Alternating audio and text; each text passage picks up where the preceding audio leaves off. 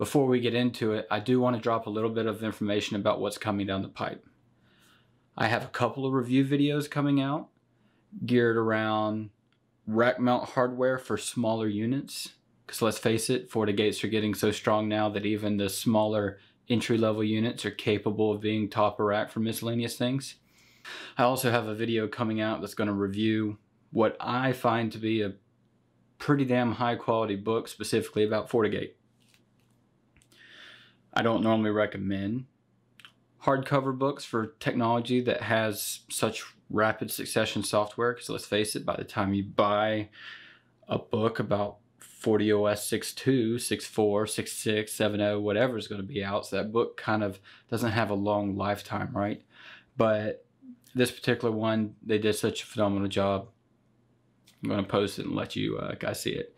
But anyways, stay tuned for the video. I hope you enjoy it and uh, leave your comments below. Thanks. Hey guys, Mike here from Fortinet Guru.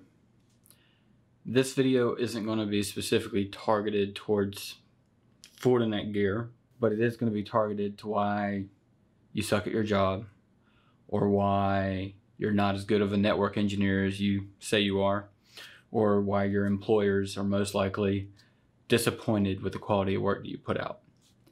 And it's it's not really something where it's me bashing people or saying that you're a shitty engineer or anything like that. It's more so um, me realizing the more I work in the industry and the more stuff that I come across that you guys are doing it wrong.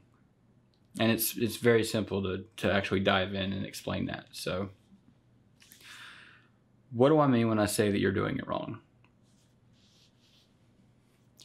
A major part of what I do whenever I make videos like this is I join miscellaneous Facebook groups, forums, anything that can help spread the content's viewership, right? Anybody that I think would find it useful. You know, it would add value to them. It would make their life better, help them become better at whatever they're doing related to Fortinet gear or cybersecurity or information security in general.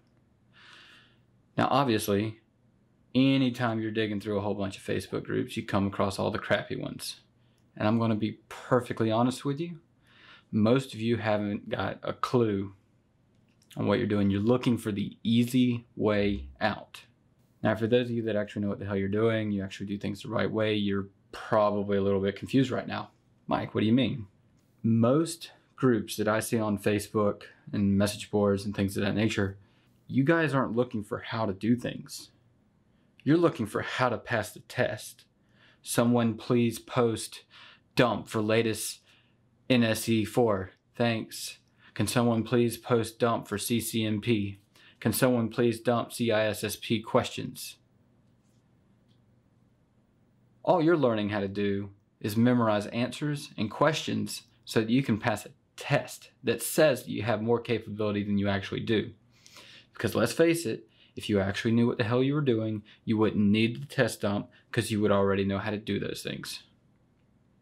I hold zero Fortinet certifications. I guarantee you, I get more work than most people that have NSE 5, 6, 7s, 8s, etc. Because when people talk to me, they know I actually understand what I'm talking about. Paper certs are a dime a dozen, and all they do is make the market look bad. Now, I probably shouldn't be asking you people to actually do right because the more crummy engineers out there, the more people are going to end up coming to me for work. But I feel that we've reached a point where there's not enough good engineers out there to take on all the load. And people are getting screwed over time and time again because you are only concerned about passing a test, not actually learning the how, the why, and the background information necessary to understand what you're doing. It's shame on you. You could do better.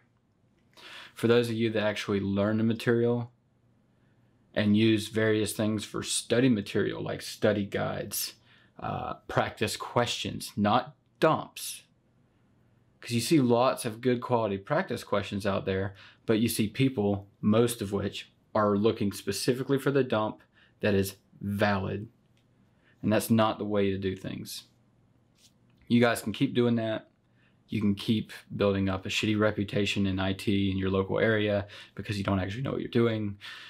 And I'll keep taking your clients, making tons of money with them, and giving them a quality of service that's infinitely better than what you could. The choice is really up to you. So, what's it going to be?